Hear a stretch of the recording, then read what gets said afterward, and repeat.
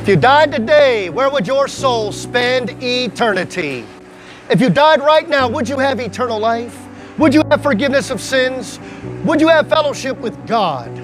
My friend, that's the only way is through Jesus Christ and Jesus Christ alone. There's no salvation in any other but Jesus Christ. But you must be born again. The Bible says, except a man be born again, he cannot see the kingdom of God. A lot of people don't understand what it means to be born again. It means to believe that Jesus died for your sins and rose again the third day. And if you've trusted and believed on that finished gospel of Jesus Christ, then you would be born again. That's the only way, my friend, Jesus Christ. When he says he's the way, he really meant it. When Jesus says he's the truth, he's the only way to make sense out of the truth of eternal life, to make sense out of any truth in this world. And Jesus Christ says He's the life. He came to give you life and that you might have it more abundantly. But the only way to get the abundant life is when you humble yourself and put your faith and your trust in Jesus Christ. Have you did that? A lot of people know about God. A lot of people know about Jesus. But a whole lot people have not put their faith and their trust in the finished cross work of Jesus. They might have heard about Jesus. They might have watched the movie about Jesus. They might have heard a story about Jesus. But a lot of people have not put their faith and their trust in the finished cross work of Jesus Christ, which means they're not saved. See, people don't like when you tell them they're not saved. I don't know who's saved, I don't know who's not saved. But God knows, and you know. Have you put your faith and trust in Jesus Christ? Have you believed that Jesus died for your sins and rose again the third day? I'm not talking about knowing about some generic Jesus out there. A lot of people got a generic Jesus. They got a Jesus of their own mind. They make up a Jesus. And then they say, yeah, me and Jesus are cool. Jesus is my homeboy. Jesus is not your homeboy. Jesus is the righteous, holy God who died because he's holy. He's the only one qualified because he's holy. And when he rose again the third day,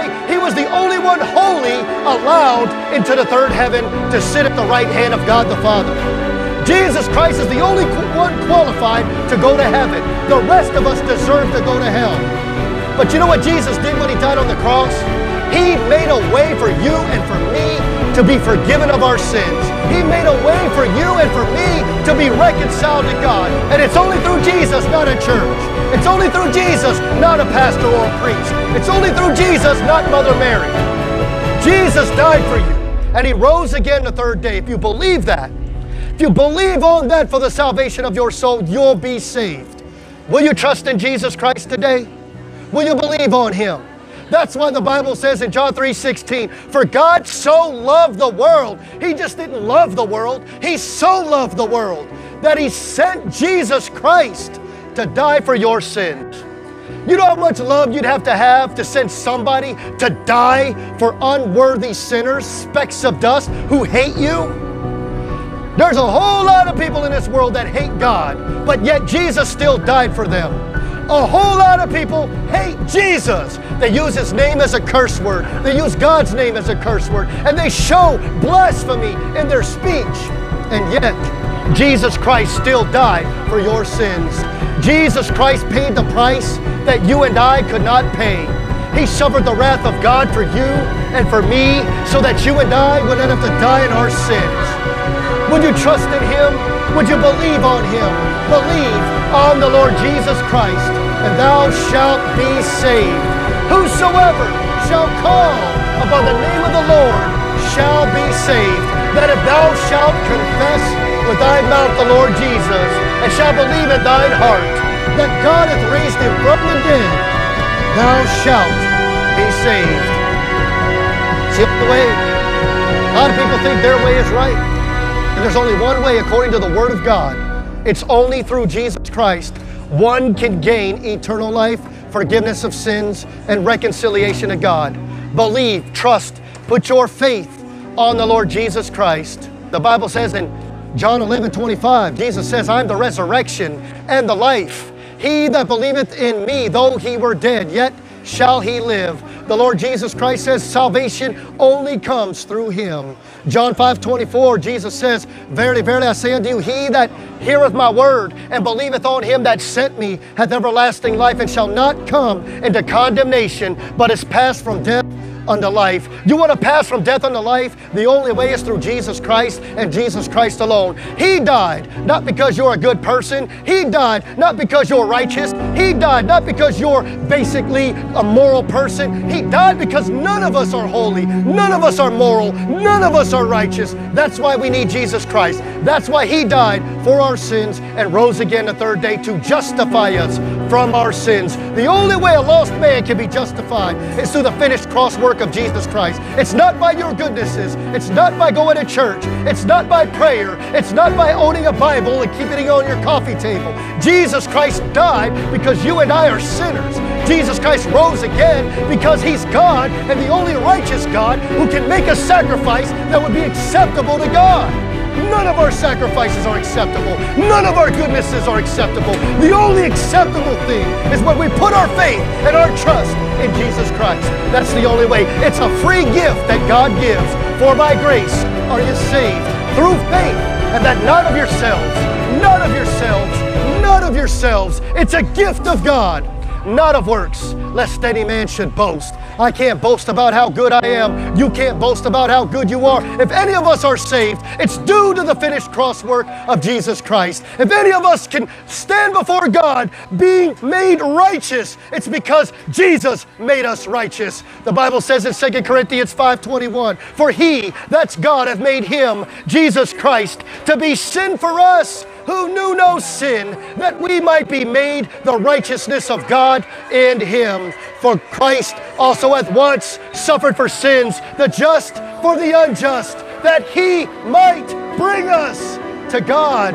The only way a lost man can be brought to God, the only way a lost man could be made righteous, the only way a lost man could be redeemed from their sins would be believing and trusting that Jesus Christ died for your sins, was buried, and rose again the third day. The Bible says in Ephesians 1, in whom ye also trusted, after that ye heard the word of truth, the gospel of your salvation, and whom also after that ye believed, ye were sealed with that Holy Spirit of promise, which is the earnest of our inheritance until the redemption of the purchased possession. Did you hear what the Bible said? The Bible says you are sealed with the Holy Spirit of promise the moment you believe and trust that Christ died for your sins and rose again the third day. Will you trust that? Will you believe that? It's a free gift. God is a God of grace. God is a God of mercy. God is a God of love. But if you reject God's love, which is Jesus Christ, by the way, then you've just rejected eternal life.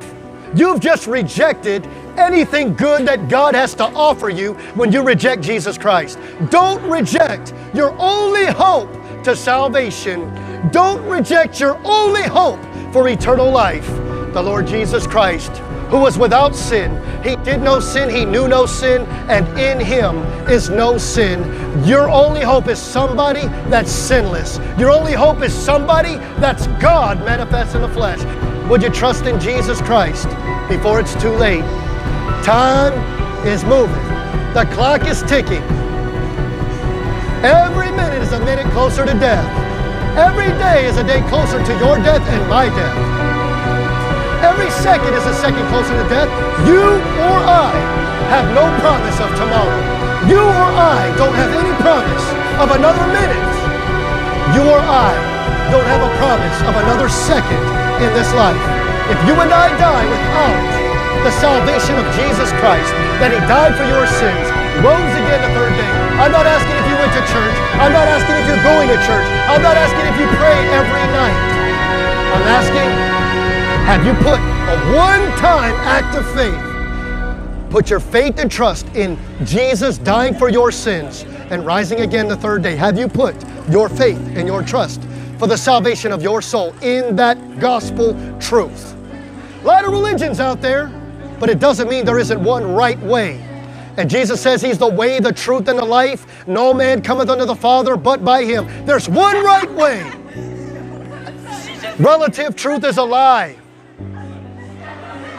Your truth and my truth, we may have different truths. That's a lie. well, my truth may be different from yours, his truth may be different from his. No, truth is absolute. And Jesus Christ is the one that holds absolute truth together.